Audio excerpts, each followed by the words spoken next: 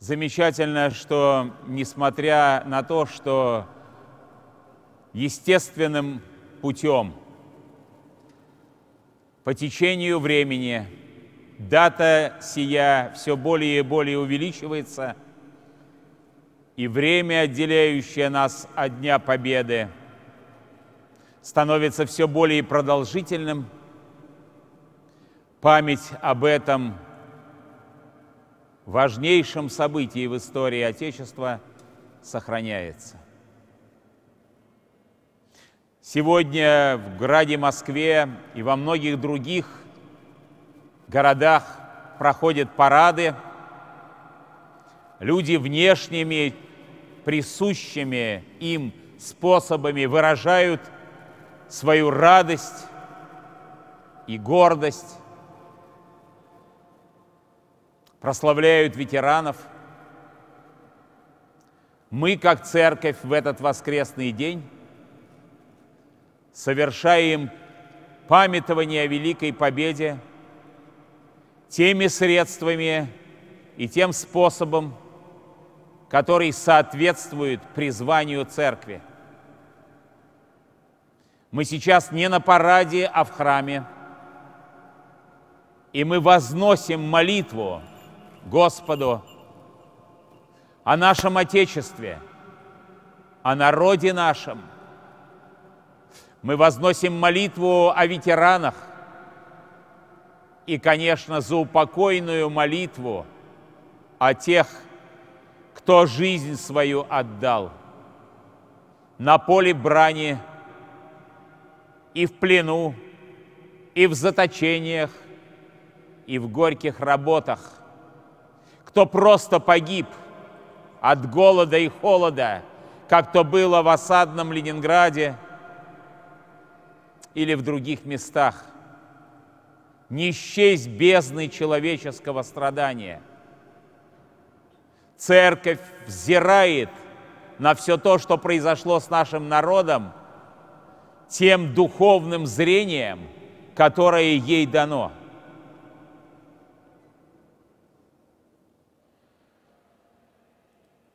учитывая совершенно особое значение Дня Победы в Великой Отечественной войне для нашего народа, я благословил, чтобы начиная с сегодняшнего дня, с дня 65-летия Победы в Великой Отечественной войне, каждый год 9 мая – во всех храмах Русской Православной Церкви совершался особым чином благодарственный молебен. Подобно тому, как после войны 1812 года, Отечественной войны, по благословению Святейшего правительствующего Синода, во всех храмах совершался особый благодарственный молебен – чин которого дошел до нашего времени. Одновременно в этот же день, как некогда повелел наш собор, будет совершаться и впредь особое поминовение усопших, вождей и воинов на поле брани и в иных обстоятельствах. В Великой Отечественной войне жизнь свою – за веру и Родину отдавших. Сегодняшнее празднование 65-летия Победы совпало, как я уже сказал, с последним пасхальным воскресением, когда мы вспоминаем чудесное исцеление Спасителем слепого – Господь избавил того несчастного человека – от естественной физической слепоты, болезни суровой, которая налагает на людей печать особого страдания. Он его избавил от этой болезни по любви своей, без всяких особых заслуг со стороны того человека – Он даровал ему, наверное, самое главное и самое важное, что было у того человека в мыслях и в надеждах – обрести зрение. Но кроме физического зрения, как мы хорошо знаем, каждый человек обладает внутренним зрением, способностью в той или иной мере прозревать то, что происходит вокруг него. Вот это внутреннее зрение имеет очень большое значение для жизни человека, для его судьбы, для судьбы всего человеческого рода. Если люди теряют способность прозревать смысл происходящего с ними, с теми, кто их окружает, то они попадают в порочный круг и страшный круг повторения одних и тех же исторических ошибок. С такими людьми происходит то, что может происходить только с, люд... с человеком, лишенным мудрости. Когда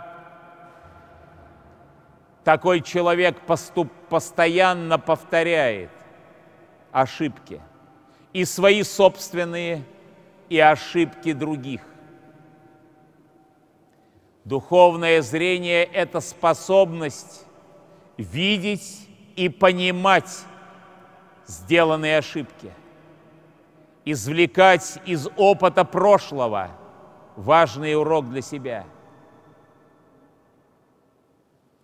Духовное зрение есть способность также избегать ошибок в будущем. Церковь взирает на минувшую войну – не так, как смотрят на нее историки или политики. У церкви особый взгляд, особый угол зрения, духовного зрения. Именно церковь является хранительницей той великой правды, что все в мире проистекает от соприкосновения добра и зла – когда добро побеждает, то последствия одни, а если зло побеждает, то последствия другие. И мы знаем, что происходило в народе нашем после кровавых событий начала XX века. Сколько же неправды было, и сколько зла было, и сколько страданий человеческих было.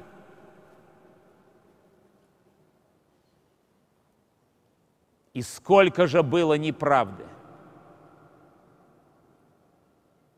Господь смыл эту неправду и это зло кровью нашей,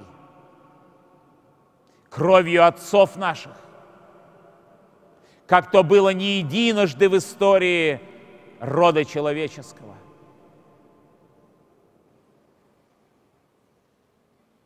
И потому мы должны проникнуться особым пониманием искупительного значения Великой Отечественной войны. Вот это и есть религиозное понимание. Конечно, у войны были свои причины, человеческие причины, злая, безумная воля определенного круга людей – но ведь и та злая воля была затем проведена через тяжкое бремя искупления. Пред Богом не исчезает ни одно слово, ни одно дело. И Бог восстанавливает справедливость не только после нашей смерти – и восстанавливает не только через страшный суд. Бог восстанавливает справедливость и в течение жизни нередко одного поколения. Как же мы должны дорожить подвигом нашего народа? Как мы должны благоговеть перед этой кровью? Как мы должны благодарить Бога за победу? За то, что пролитие крови не обернулось поражением и новыми скорбями, которых уже никогда бы не выдержало наше Отечество. С какой благодарностью мы сегодня должны возносить к Нему свои взоры и свои молитвы за подлинное избавление страны нашей. И когда какие-то доморощенные историки говорят нам, что у нас здесь зло было не меньшее, чем там, они дальше носа своего не видят. И дальше своего весьма примитивного и греховного человеческого анализа, не видят божественные перспективы. У них другой угол зрения, чем тот, о котором мы сегодня говорим. Великая Отечественная война явила нам Божью правду о нас самих. Она наказала нас за грех – но явила нам великую славу и силу нашего народа. Мы победили самого страшного врага, которого никто не мог победить. И как бы этой победой Бог говорит нам, вы можете, не грешите, не склоняйте свою голову перед грехом – живите по моей правде, и вы все сможете. И когда мы сегодня проходим через какие-то там кризисы, какие-то неурядицы, через проблемы ЖКХ, которым посвящается абсолютное время в наших СМИ, все это приходит и уходит – и забывается не только что за жизнь одного поколения, за один месяц и один год, но ведь этому мы отдаем сегодня все свои силы. Всем этим обычным, каждодневным, жизненным проблемам и не видим той стратегической божественной перспективы, которую мы должны видеть как народ. Значение сегодняшнего дня в том, что мы через воспоминания нашей великой победы способны обрести то зрение, которое является самым важным. И то, что в день 65-летия с победы мы вспоминаем чудо исцеления слепого, дивное совпадение. Наша молитва сегодня о том, чтобы мы никогда не теряли своего внутреннего духовного зрения, а те, кто потерял, чтобы обрели это зрение. И тогда больше не потребуется никаких всенародных искупительных жертв. Мы имеем силу побеждать а вместе с ней и великую ответственность не уклоняться от этой обязанности, исторической обязанности быть победителями. Сейчас мы первый раз совершим благодарственный молебен о великой победе и будем просить Господа – об Отечестве своем, о народе нашем, о духовном зрении, без которого невозможно идти вперед, дабы День Победы не только обращал наш мысленный взор в прошлое, но помогал уверенно, с надеждой на Бога, идти в будущее. Аминь.